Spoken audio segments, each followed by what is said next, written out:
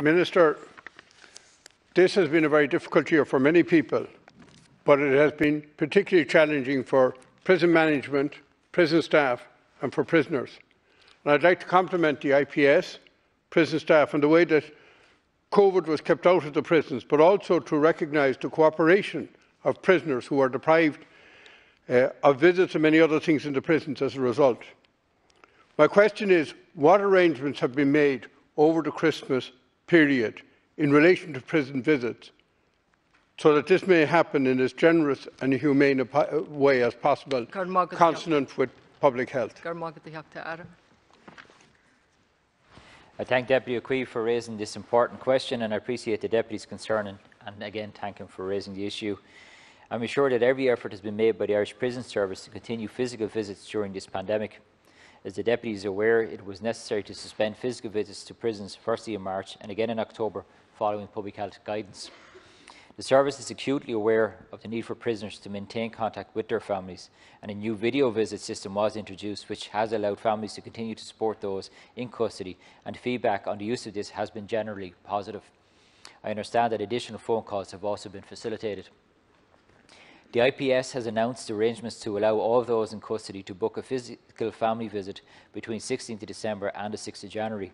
Each prisoner will be entitled to one physical visit, limited to two people, which is limited to 15 minutes in duration. I understand this time limit is necessary to ensure that the maximum number of visits can be facilitated. Having regard to the need to reduce the number of booths in use for distancing purposes and the need to fully sanitise surfaces between visitors. All visits will be behind clear screens, and visitors and prisoners will be required to wear a face mask at all times. No physical contact will be permitted. All visitors will also be subject to the COVID-19 screening procedures which have been in place since March and visitors are requested not to attend if they have any symptoms, have been in contact with a person who has gone for testing, if they have themselves been tested positive for COVID and have yet to be cleared by their doctor, or if they have been abroad in the preceding fortnight.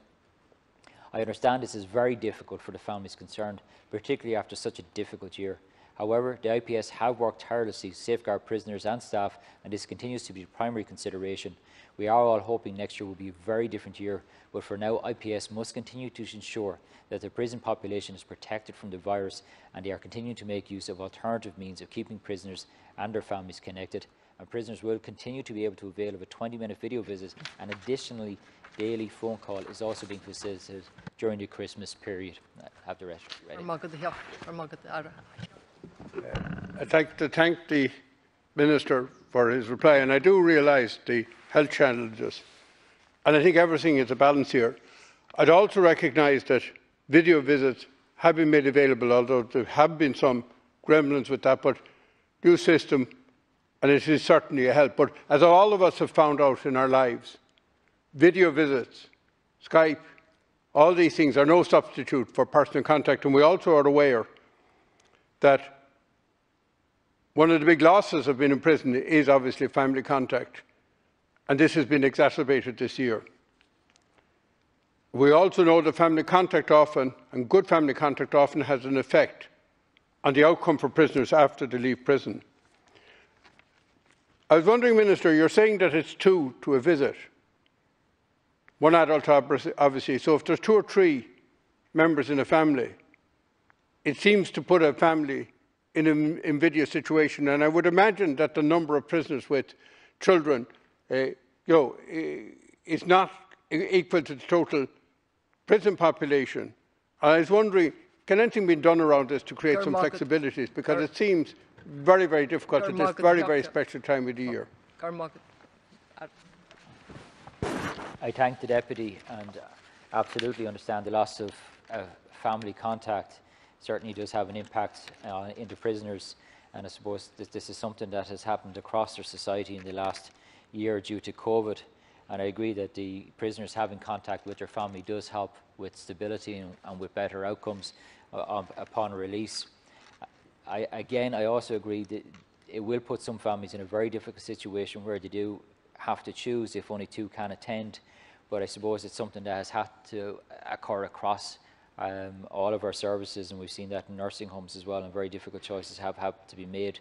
But I certainly will encourage the Irish Prison Service that if any flexibility can be put in while adhering to health considerations and health concerns, that those flexibilities will be put in place. Minister, Ishaq Queen. Yeah, I, I'm glad to hear you say that because I think what we need is flexibility. Not all situations are the same. Uh, there won't be the same pressure in all the different prisons in relation to prison visiting. And I particularly make the health case that if there's a family living together, the risk from two or three wouldn't you wouldn't imagine be any different because if they're living together, uh, you know, you'd imagine that what one would get, another would get. And I think that the humane thing would be to make arrangements for the children to be able to visit during the Christmas period in both the male and female prisons.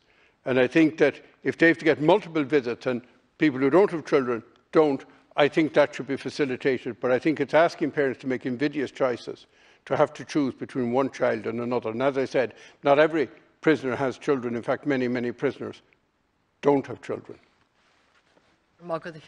Margaret. Again, uh, thank the deputy, and as I say, there any flexibility can be put in place, I'll certainly be encouraging the IPS to do so. Of course, they will have to adhere to um, both the practical difficulties and also the difficulties around COVID and health advice, and they will have to be followed. But obviously, it will give uh, a very, very difficult uh, situation for those families uh, concerned, especially where there's young children involved, and it is difficult to be separated from your family at any time, but certainly at Christmas it will be even more difficult for those families and for those prisoners as well.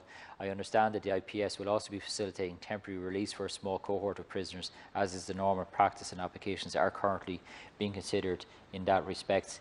And I know also in terms of the mental health of prisoners that Minister McEntee is working very hard to try and improve the mental health supports for prisoners, and not only in the short term but in the long term as well. Thank you.